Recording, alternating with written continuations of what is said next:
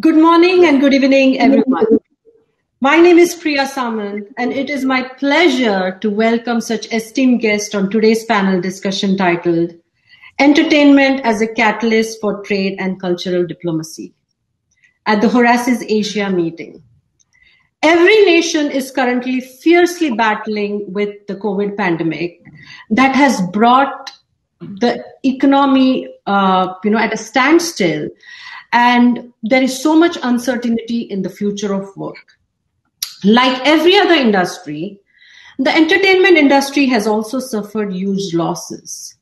But it is one such industry that has kept us alive, active, and bonded through cinema and music.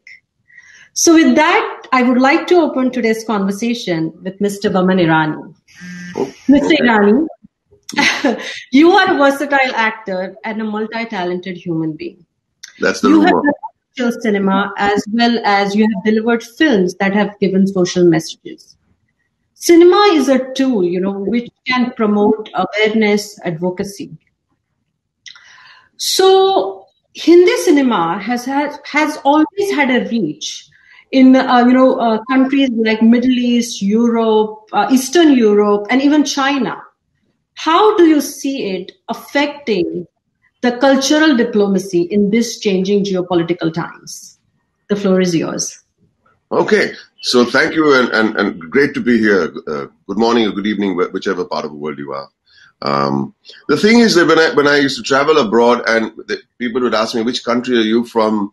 And I would say India. They say, oh, oh, Raj Kapoor, or Amitabh Bachchan, or uh, Rajesh Khanna, or Shah Rukh Khan. And, and, you know, that kind of created a bond between uh, uh, the two countries uh, without even knowing anything about the culture, so to speak, but just having a peek into the world of India through the movies.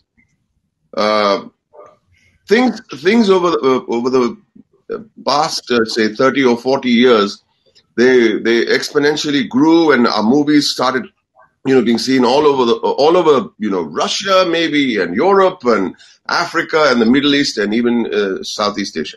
But it was more or less uh, the popularity came about because of the songs the music and the star power. And and I think yeah and the star power. And people loved just just as I said when they say oh Shah Rukh Khan and they start saying they start dancing on the street. Literally dancing on the street and do a jig for you and I say this is wonderful at least they look at us as friends you know um, in the last two years and I don't think that the the lockdown uh, and the pandemic has helped in many in any small way uh, last three or four years, I think I don't see a lot of music coming out of our country. And my, my dear friend, Mr. Ghai, will will tell, will corroborate. And films had the best music, and I think it reached out. I don't know whether that kind of star power and music is going to help us make this soft cultural touch with other countries. It's going to be the movies. It's going to be the it's going to be the stories of India that will uh, come to the forefront. However, saying all that, well, uh, culturally it can uh, help, no question. But if it's going to be politics of personality, I don't know how we can intervene and and you know and be the, the diplomatic corps to to to get two countries together.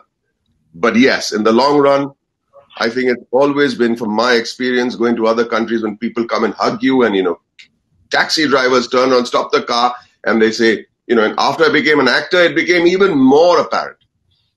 But it does help. It does help in a big way. Movies, music, dance, culture, always the savior. Thank you so much. So you really uh, brought some interesting point here. So see, traditional, uh, traditionally regional cinema, like you know, especially in India, like Bengali, Marathi, and even southern cinema, Malayalam, Telugu, really big industries, you know, have handled a wider range of social subjects um, Right. compared to the mainstream Hindi cinema, which although is changing now. Okay, even um, Hindi cinema, Hindi cinema is really tackling some uh, key issues. Right. So, how can regional cinema uh, get better global reach than the Hindi cinema has today? And moreover, can there be a cross uh, uh, industry collaboration with the intent of giving that reach? All right. Uh, see, for a person who doesn't live in India, uh, I don't think he might know the difference between a Bengali film and a the Telugu film or a Hindi film. It's it's regional cinema to him. So if we see a film that comes out of Korea, it's regional cinema to him. For us, it is regional cinema because we've got so many languages all across the, the, the, the nation. But eventually, I was watching a film once with dear friend, mentor, and one of the greats, Mr. Shyam Benegal. And there were no subtitles uh, to the film that we were watching on television. And he asked me a very important question and a pertinent question at that. He said, Do you follow the movie? Do you understand the movie? I said, Yes. He said, Do you know the language? I said, No. He's saying, Which means it's a good movie. A really good movie, it, if it has to cross borders and has have legs to cross borders, does not need subtitles. It means the storyteller is telling you the movie perfectly well without subtitles. So where's the language? Uh, it's it's cinema. It's it's the it's the way the communication is taking place between viewer and the storyteller. So, so your question about regional cinema, it doesn't matter what language uh, the movie is made in, because if it has to have legs to go across and cross borders, Kore- Korean cinema, I don't understand uh, the language, but I, I love the cinema. Iranian cinema, fabulous, yeah. fabulous cinema over the. That's regional cinema for me. It could have been one small part of India, and it won't make a difference as long as I enjoy the storytelling, the narrative, and the culture of it all. Very well, very, very well put. And you know, talking about Iranian cinema, uh, at the last panel I did uh, for the UN during the UN General Assembly for the Horasis, we did have Majid Majidi from Iran. Oh, yeah. Actually nominated for an Academy Award. So now um, you touched upon uh, music as well. So we have a musician in this room today. We are very honored. So my next question is going to be uh, to Ali Sethi. Uh, see, um, every nation has their own uh, musical heritage. Through music, we are able to empathize with one another, but also borders of language and religion can be overpassed through it. Ali, you are um, uh, an author, you're a Coke Studio performer, and of all, because I'm based out of Boston, you're an alum of Harvard, right? So that's that's that's very near to me. Can you tell me, uh, do you think that music can facilitate cross cultural understanding and promote the message of peace? Uh, I I not only think I know that from personal experience because I've been performing on uh, the very popular Coke Studio program for many years now, and um, I have seen how, especially in the last ten years, as Pakistan has grappled with, has been has been shaken by um, by a, a, huge militancy problem, by by suicide bombings in my native Lahore, which, as we know, is an ancient city of the subcontinent. Mm-hmm. I have seen shrines bombed. Um, I have personally lost friends and um, dear ones to uh, terrorist violence, to extremist violence. Uh, my parents, who are activists, Najam Sethi and Jugnu Mohsin, they are journalists who have always advocated for regional peace. We have lived under death threat from Taliban, have had to be you know, away from our, our home for years at a time. And through all of this, I have seen how music, in particular what we call fusion music, which is kind of really just traditional South Asian uh, folk melody, uh, percussive elements brought together, you know, with some kind of improvisational genius, uh, merged with contemporary instrumentation, with some sort of contemporary musical sensibilities and attitudes, which we know Desi people are just very good at intuitively. And I think it's because the subcontinent has been an anciently cosmopolitan place. I mean, since the time of the Indus Valley civilization, we know there has been trade with other cultures, other civilizations, and it has always been the case right? That the Turks and the Persians and the British and the Syrians and Baghdad and, you know, and Burma and China have in some ways converged in the subcontinent via culture. So I have seen how those elements, whether it is, you know, a European instrument like the harmonium or whether it is, you know, a new drum machine that somebody's imported from LA or whether it's whether it's a rag being sung in sort of the way they come together and speak a global language. I've seen how not only have they not only has this this sort of musical uh, uh, musical language connected young Pakistanis in particular with people around the world at a time of siege and at a time of fear and loathing and strife, but have also healed within. It has been, you know, what politicians and secular activists have failed to do time and again, what sort of, you know, uh, well-meaning uh, uh, uh, parliamentarians have often failed to do. Music has been able to do in a country like Pakistan, which is provide a kind of inclusive sense of cohesion that not hmm. only brings people inside your country together and kind of reconciles differences, but also allows you to show that face, that glorious, multifaceted, in a country like Pakistan, where unfortunately we've been, you know, constantly um, uh, at the mercy of fundamentalist elements who have insisted on narrow, monolithic, exclusionary identities.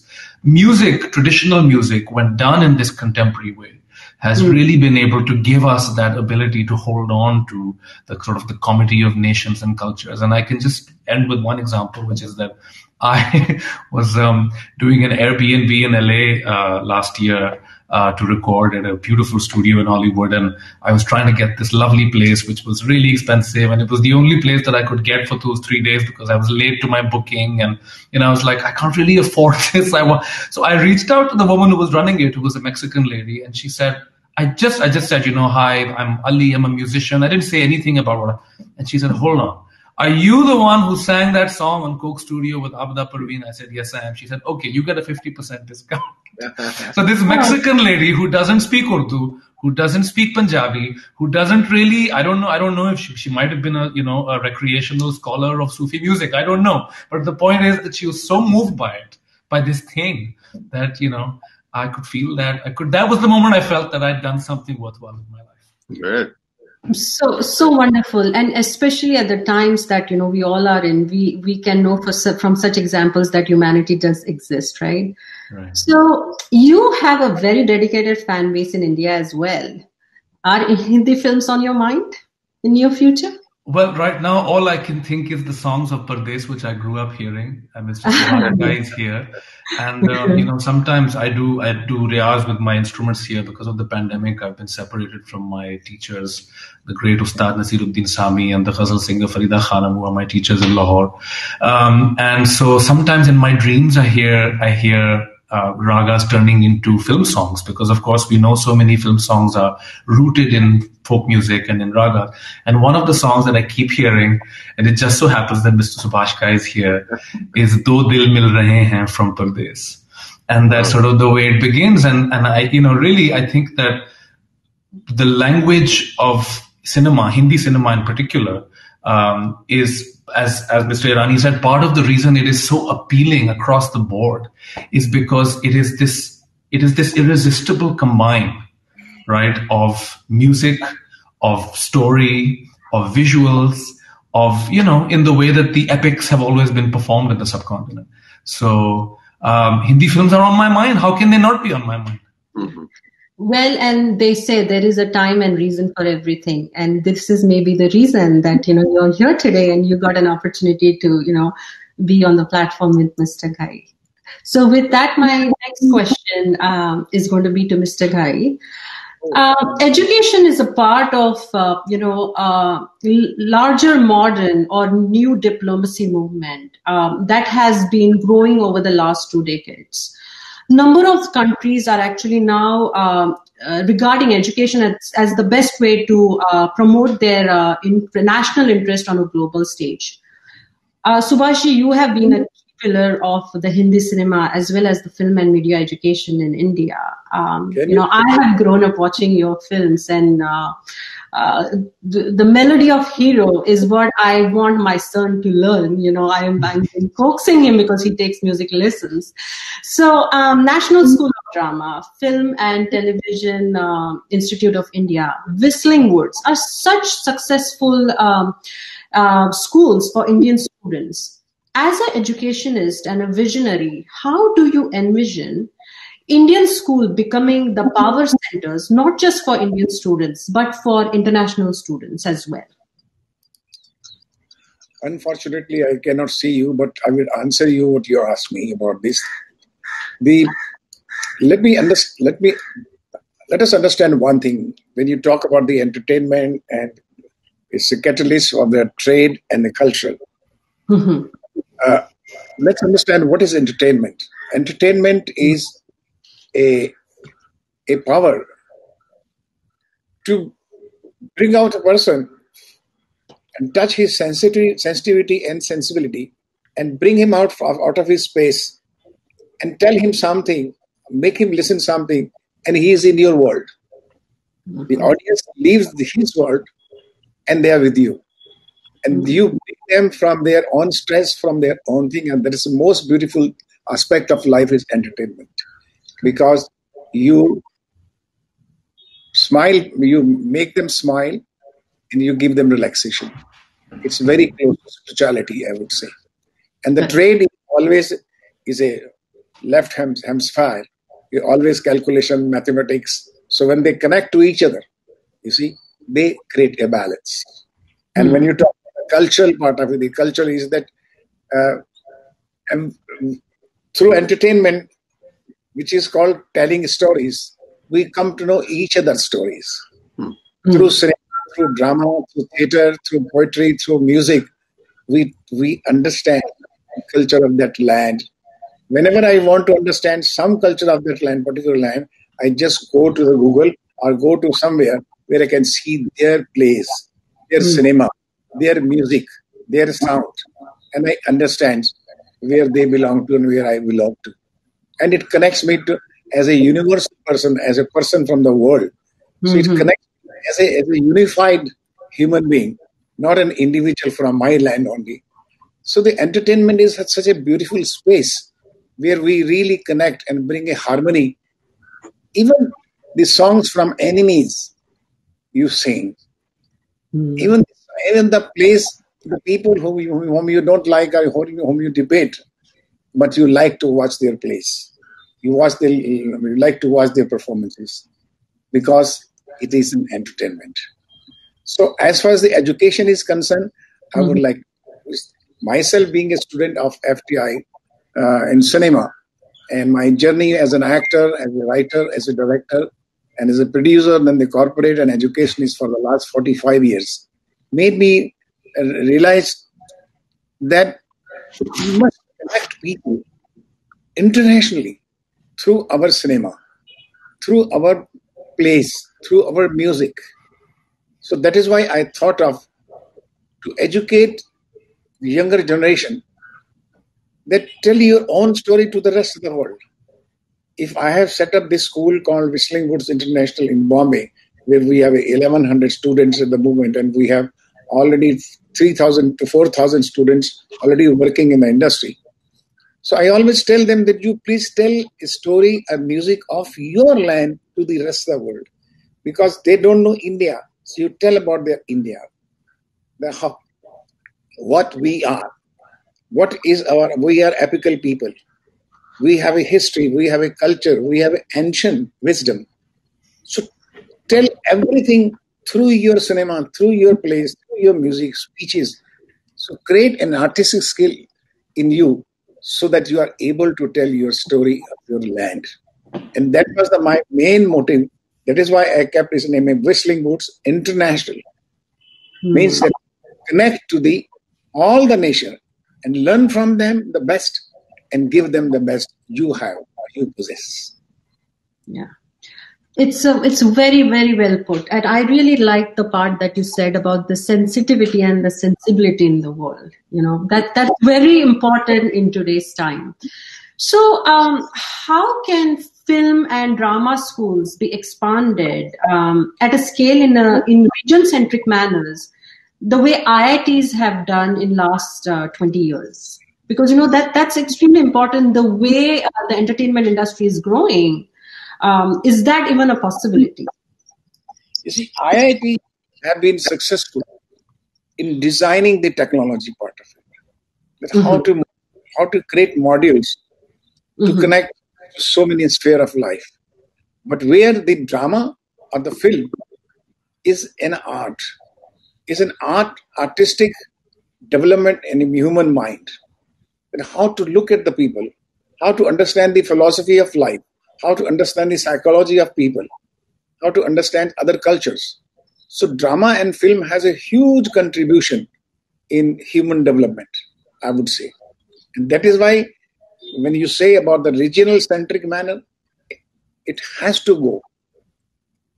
Because we will come to know the each and every corner of this world in, on this earth, what is happening, and we can create an harmony between the mindset of the people, can create a harmony in the world. That is why the drama, music, everything talks about love, talks about emotions, mm-hmm. talks about connecting to each other, talks about the yoga, talks about the spirituality, talks about a, a positive environment around you. So it is extremely important for us to understand that we, every and in every village, every region must develop theaters, must develop film schools, dramas. Even the lawyer and doctors, scientists also need to know what is human drama, what is the philosophy of life, what is the psychology of the currents. So we understand each other better. We have a wider horizon to have a better perspectives from others. We can understand others' perspective also. We can understand why he hates me. What is the problem? Mm-hmm. So I don't individual. I become universal. I become above above a normal citizen, a normal citizen of the world. And when you become that, you understand people you're cool about it correct correct so maybe a holistic approach towards uh, diplomacy would be a way to put it put it so with us also we have today um, a leader innovator and a pioneer in the entertainment industry um, in united states and uh, globally mr cary granat so cary it's an honor to have you as well here today uh, us film industry has dominated the global industry um, however, the trade flow is one sided. Uh, American films dominate the, the world market. Uh, have, however, the foreign films have a very minimal success in uh, establishing their presence in the US market. So, how do you collaborate with the foreign governments to uh, help set up, uh, to help set up or remodel their entertainment sector, so they can basically, uh, you know, uh, in a very seamless manner, uh, have their global presence from a trade perspective? First off, I'm uh, very honored to be on the panel with so many talented, cool people whose work I admire. So let me start by saying that. Um, entertainment is a obviously a multi multi billion dollar business, and um, when we talk about cooperation between countries, uh, one of the things that our company, uh, one of our companies, does. Uh, we've we've made about 58 movies and TV shows in different countries around the world uh, over many years, and one of the things that we look for isn't how do we just export American narrative actors and storylines. It's quite the opposite. It's how do we build bridges of bilateral cooperation and trilateral cooperation, where many countries are able to work together to bring incredible stories to life. So you have a couple of different pieces here. Number one is many countries, and we're working today with people in several Southeast Asian countries hmm. where the governments don't have incentive rebates, don't have bilateral agreements with other countries for preferred theatrical release or entry. China, for example, only allows a certain number of films in a year from any given country or territory. So creating unique bilateral agreements with China are critical so that you can bring in both funding programs and whatnot. We do that on a regular basis but also the development of talent and the promotion of talent is really important. And um, the narratives themselves are critical for geopolitical reasons because they humanize differences, they humanize our issues between each other, they help to understand and help to break the curse that I like to call we're ignorant that we're ignorant which is the famous Arthur Schlesinger Jr. quote, which basically we don't even know that we're ignorant, right? So watching incredible stories uh, that take place from different places in the world, whether it's Emir Kusturica introducing us in the underground to an incredible story, or any number of uh, uh, uh storylines that you get to meet uh, that have that have succeeded, allow us to now have an emotional connection to a place and time. But going back to the economics a second, when we go into a country and help them build up their film industry, their streaming industry, their music industry, we're not only bringing American studios in, we're bringing Russian productions, Brazilian productions. We're looking at how do we activate Canadian uh, treaties with those countries so that we can expand and create more universal kind of theatrical distribution initiatives, streaming initiatives. And I will say that Netflix, Amazon, Apple, Hulu have done an amazing job starting to really create kind of a balance now with international cinema where the rise of appreciation of international cinema has never, ever been this great before, ever in the history of uh, cinema and in television. You have people today watching Israeli and Palestinian, and you have people today who never saw the white balloon or never saw wild horses or never saw various projects in multiple countries who are now, uh, uh, uh, uh you know, grabbing that through word of mouth. So millions of people are being turned on. This is the great equalizer moment we've been waiting for for international cinema and appreciation.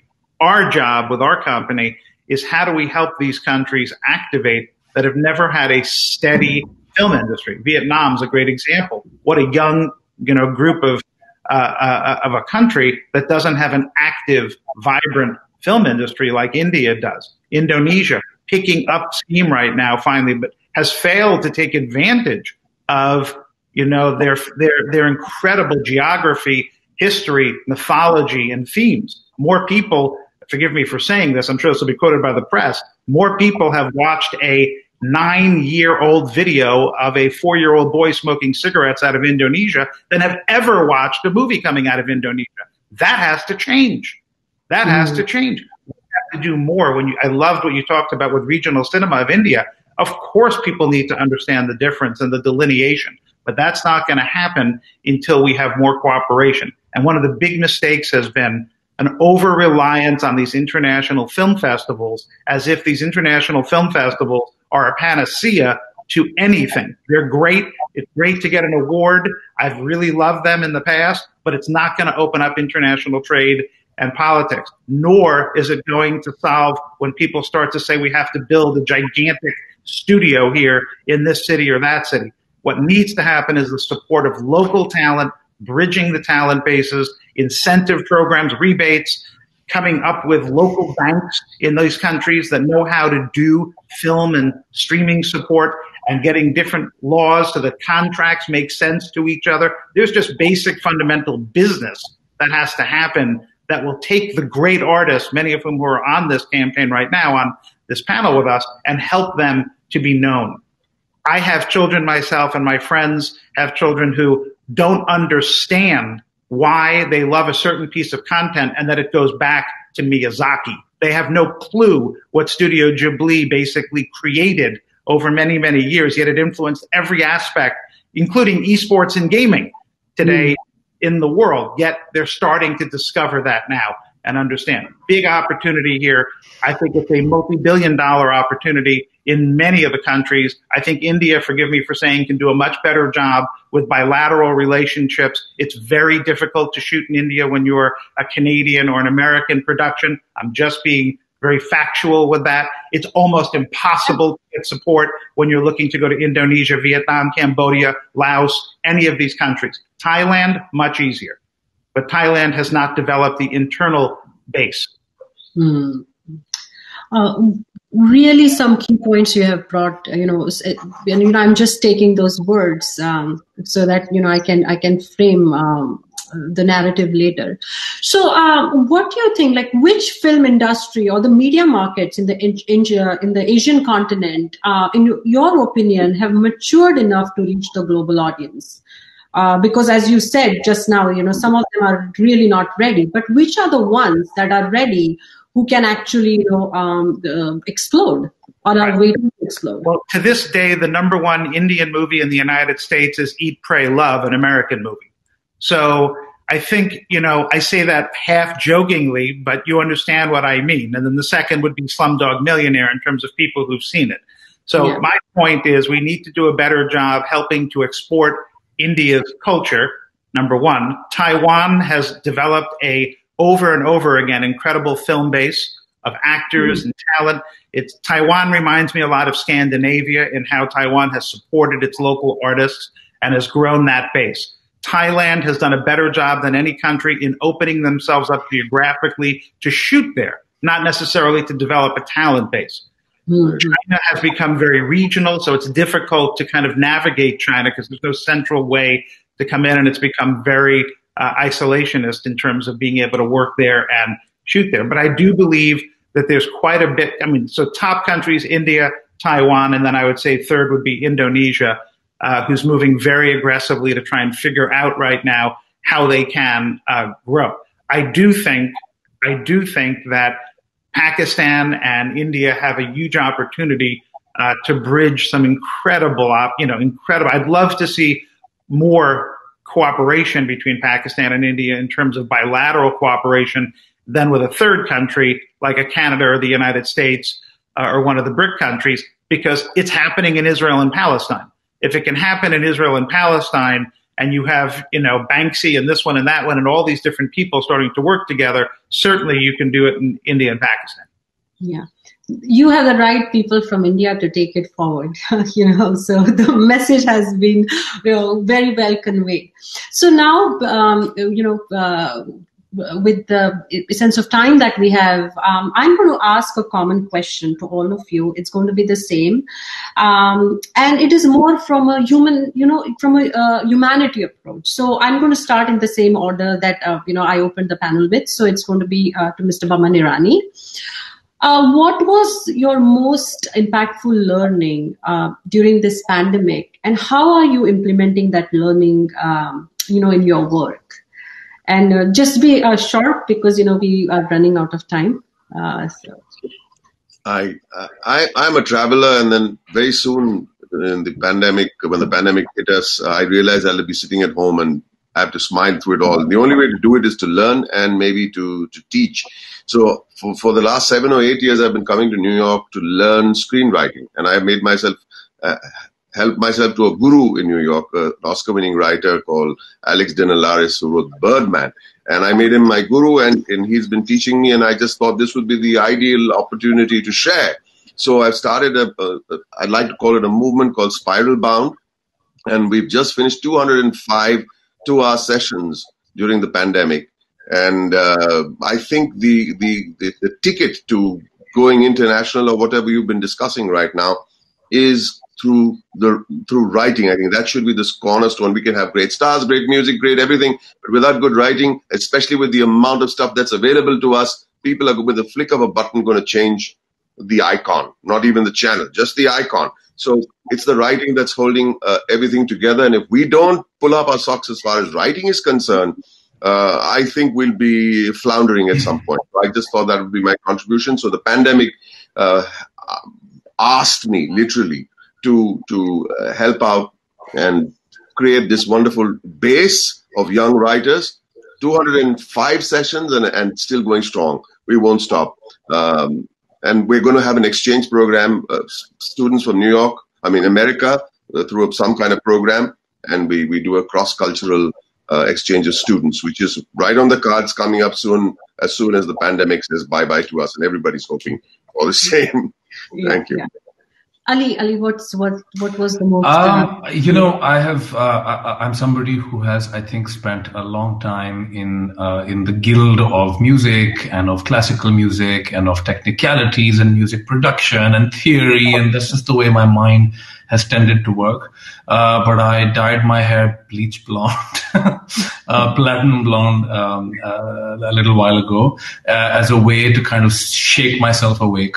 Um, and in this pandemic, in particular, I think I have I have uh, tried to jumpstart or kind of kickstart my uh, my daydreaming again. I have I have mm. acquainted myself with new media.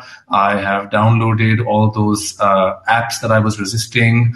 I am consuming content left, right, and center, and just kind of swimming in it and looking for new things and sort of what you know everybody here has been talking about, which is what is the way forward in terms of building these bridges? Whether it is, as Mr. Irani said, good writing. Well, what is good writing? How do you translate between cultures? How do you tell a story that retains the authenticity, the flavor, the subjectivity, the quirk, the chaska of the particular, you know, while also connecting with uh, questions, pressing identity conversations that people are having in the globe today.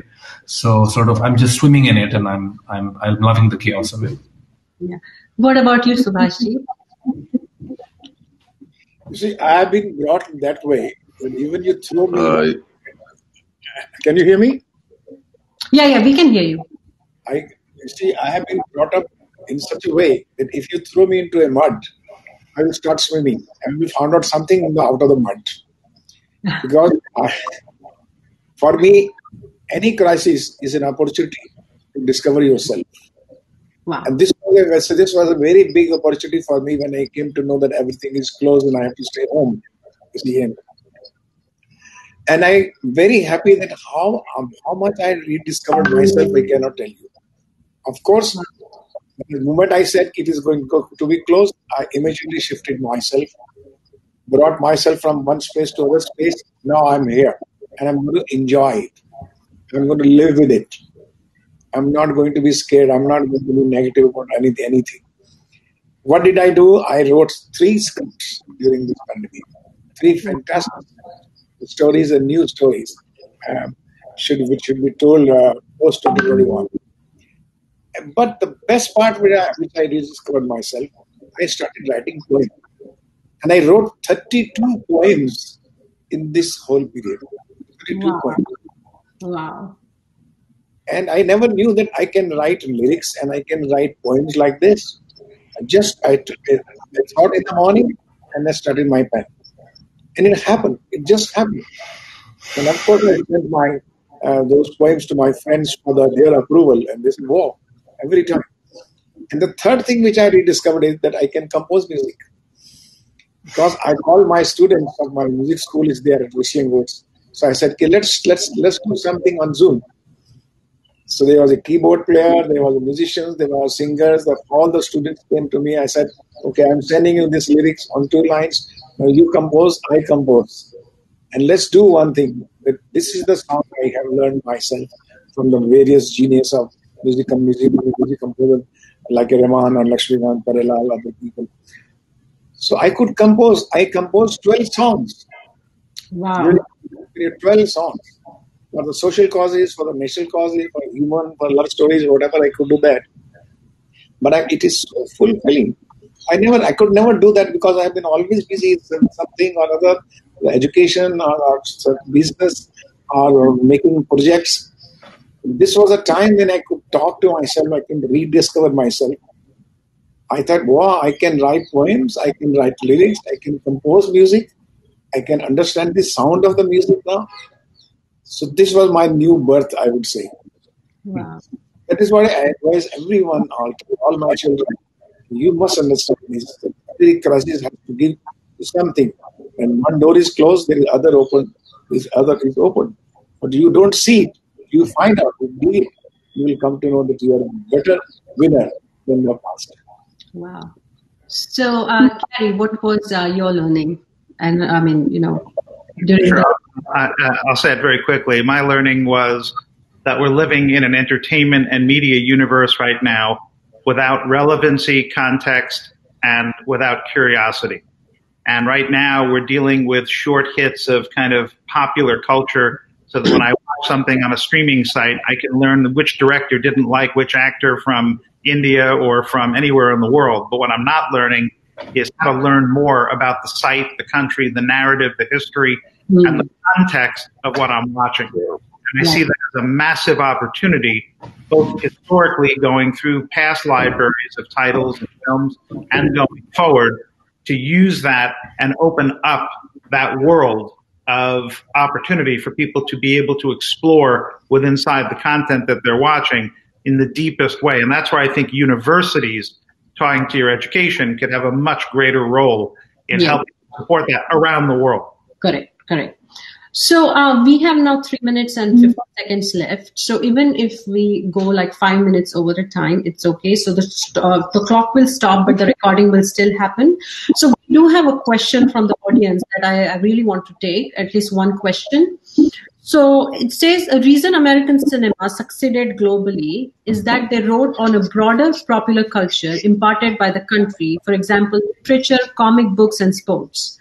How can other countries compete with that? What is that Indian movies have to attempt to be a globally resonant and relevant uh, consistently? And it's from Mr. Chinmay Bandari. He's a co-founder of, uh, if I can put it, Nyansa is well, the name of his company. I can answer one thing tied to that if. I can. Absolutely. Um, which is that um, for a long time, the number one movie of all time, called Avatar, was not based on a game, was not based on a book, and was not based on a sport. It was based on being able to explore themes, frankly, which came from both India to Carlos Castaneda in Latin America to many others, uh, tied to how we look at culture and spirituality. So that was a great example of the way to pull from world culture, which Jim does. I've had the honor of working on many films with Jim, and I can tell you that he pulls from various cultures from around the world. So I don't think it's limited to those things. I think there will be a blockbuster that's going to come out of India. It just has to be in cooperation and done the right way. And I think there's blockbusters that will come out of many countries. That's what we're focused on in our group to help discover. So anybody from the Indian side want to answer this? Uh, what what has to be done? Uh, Boman, Mr. I Boman. mean, that was so, so beautifully answered. Um, But but I think we're, I, I I think for the first time I'm going to contradict myself maybe. But I think the great advantage was the was uh, the popular language. It could have helped in a big way, and also the. I, I don't know, but I grew up on American films that were musicals. I don't know somehow the, keep coming back to music. For me, the Fred Astaire, Ginger Rogers, Gene Kelly, the MGM musicals what was actually what popularized American cinema, and that was the kind of film that I kept going to watch. So maybe I don't know. There may be some hidden secret over there. Maybe the musical should come back. I don't know, Ali, if you have something to say about that. Uh, yeah, I was just uh, I was uh, talking or doing a Zoom session with the wonderful Indian director Mira Nair today, who's a friend of mine, and we do music together on Zoom uh, because we both have a love of music. And we were talking about exactly this about like you know uh, if we were to tell stories through musicals and and sort of do a musical, what would it look like? How what would the what would the set pieces be? How would we? We're just sort of riffing and jamming. But yeah, I think it's. Uh, I think you're right. The you know the musical uh, has, and we know that on on stage, etc. Musicals do very well in America, but somehow in the movie format, musicals have kind of uh, fallen away. But maybe this is this is the opportunity. This is the crossover that everybody's waiting for. A Sure. sort of South Asian American collaboration in which the musical gets revived. Sure. So uh, we got an opportunity to hear from uh, this um, innovators, leaders, visionary of uh, the entertainment industry. Uh, there should be a holistic approach in you know uh, how things happen forward. Entertainment is how, however, one um, industry that actually speaks the universal language. Through entertainment, we are enhancing and sustaining relationships, growing various sectors like hospitality and travel and tourism, and also creating awareness on the importance about government, healthcare, and education. Entertainment industry is a, playing a very important role in informing, bridging, educating the masses as countries are finding paths to a re- sustainable recovery from this pandemic. To sustain and grow post pandemic, knowledge transfer, collaboration across uh, continents, uh, you know, countries is the key, and sectors. Every sector must have the ability to transform and work together with the changes this pandemic recovery brings. We are gearing towards the end of 2020, and this year has taught